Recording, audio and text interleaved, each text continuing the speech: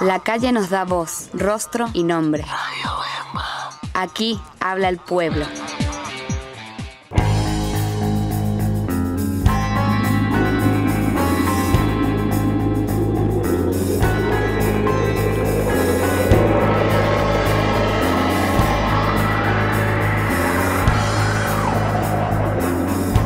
Para la historia de la parroquia Buría, contar con la visita del ministro de las comunas y así nosotros poder presentarle a él las debilidades, pero a su vez la fortaleza como gobierno comunal que estamos hoy en día aquí organizándonos y como a simple vista, bueno, la decisión de la toma de palabra de cada uno, ahí lo dijo todo. Estamos divididos en cuatro ejes. Cada eje está en conformación de una comuna socialista. Gracias a Dios tenemos en conformación tres comunas que ya van dos por la por la por el día van dos que están aprobadas la carta fundacional. Hago énfasis en la carta fundacional Negro Miguel que fue aprobada por 783 habitantes, habitantes que tomaron la decisión de decirle un sí a aquel sueño del comandante aquel 8 de diciembre que dijo comuna nana. La comuna socialista Minas de Buría es el eje número 4, la comuna socialista Río Turbio de Buría el eje número 2 y falta por la carta aprobación de la carta fundacional que ellos tienen la traba de promotor ahí es la comuna social, socialista eh, revolucionaria de Buría en el cual tiene la montaña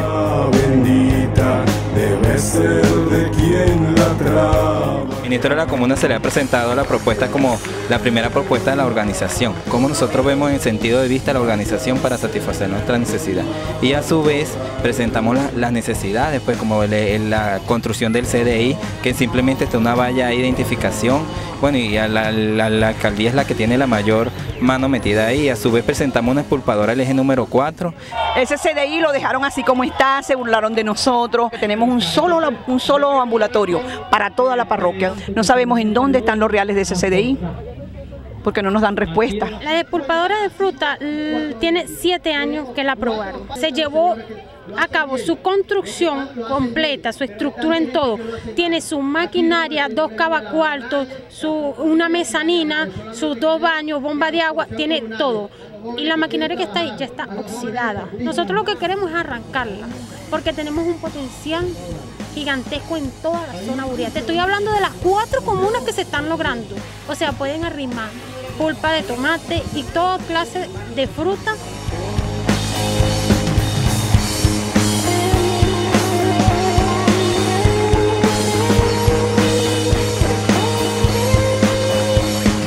exigencia eh, del día de hoy para nosotros fue eh, exigir la transferencia de competencia para el manejo de los recursos, para poder elaborar y ejecutar proyectos, porque nosotros entendemos que si no tenemos competencia o si no tenemos este, eh, competencia en los recursos, nosotros no vamos a poder hacer nada. Hasta ahora, en esto, hasta ahora todos los recursos llegan a las alcaldías, a las gobernaciones y en algunas comunas que están, y, tenemos el espejo de la comuna del Maizal, que es la que nos está ayudando eh, porque tienen experiencia de lo que es organización social.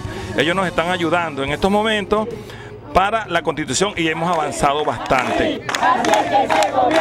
Con los corredores comunales nosotros vamos a seguir adelante, camaradas. No va a haber nadie que nos ataque en Buría. ¿Por qué? Porque ya Buría despertó del, sosiego que tenía. Mire, este ministro, mire esa valla que está ahí. Mire esa valla, mire, ese es un CDI. Si uno no viene para acá y uno no escucha de la gente de primera mano cuáles son los problemas, y si uno no escucha mal cuáles son las soluciones que nuestro pueblo organizado propone, bueno, entonces es muy poco probable que nosotros hagamos realidad eh, una de las orientaciones estratégicas de nuestro comandante, que era crear comunas, crear autogobierno popular. Para eso estamos aquí. Este es un episodio más de un largo recorrido y cada vez eh, más ir fortaleciendo el poder popular.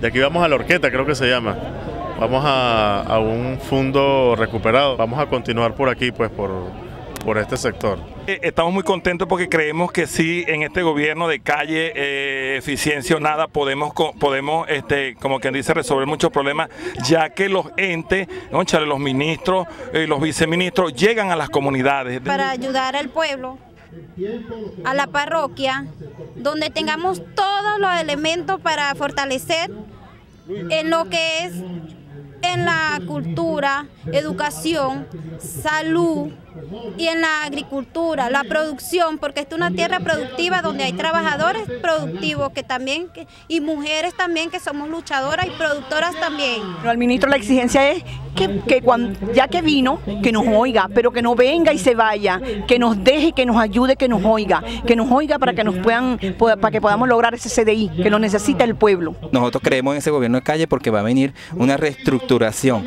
una actualización en todas las instituciones, tanto consejos comunales que se ha tomado en las instituciones también porque de las instituciones son las trabas para que el poder popular se organice y de, de la batalla en cuanto al comandante, aquel sueño del comandante Hugo Rafael Chávez Frías. La calle nos da voz, rostro y nombre. Aquí habla el pueblo.